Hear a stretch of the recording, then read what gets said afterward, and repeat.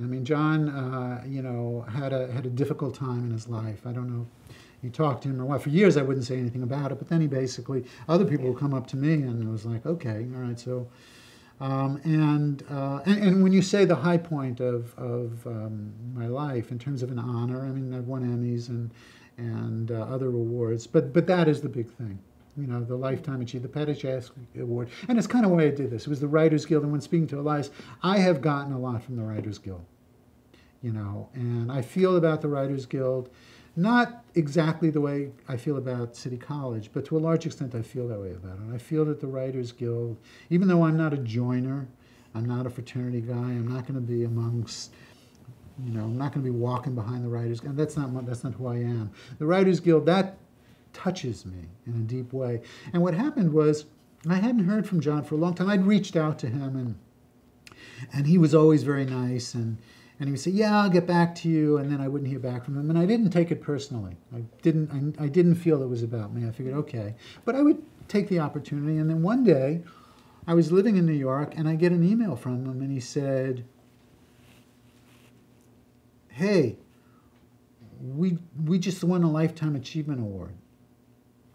I said, and I emailed him back, and nobody had contacted me. And I said, um, uh, I, I, thought he was gone.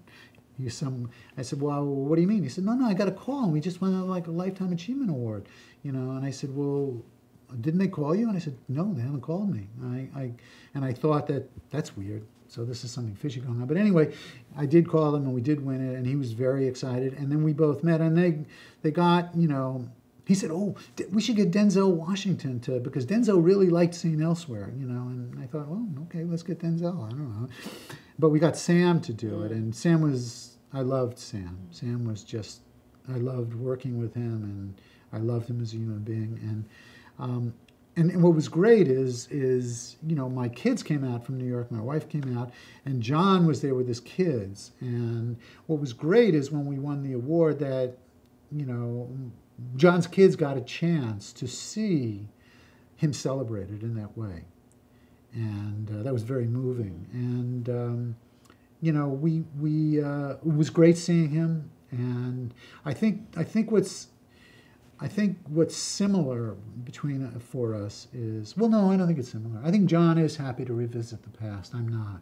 You know, I think one time we were saying, I said, you know, we we thought, did he want to do something together? And I said, I'm just really, and that's not who I am. It's not about him personally. I don't. I just. I, for some reason, it makes me very uncomfortable, and um, he respects that on some level. We don't have to talk about it, but uh, but he feels differently. I think he would be very happy telling that story, this uh, uh, uh, variation of that same story, and that's who he is. And listen, Faulkner, great writers. There are a lot of there are a lot of different kinds of writers. There, Faulkner would write about one place, you know. Uh, James Joyce, you know, uh, and then there are people who are drawn to different kinds of things. And I'm, I'm that way, and he's not that way. He's from a, he comes at it from a different place.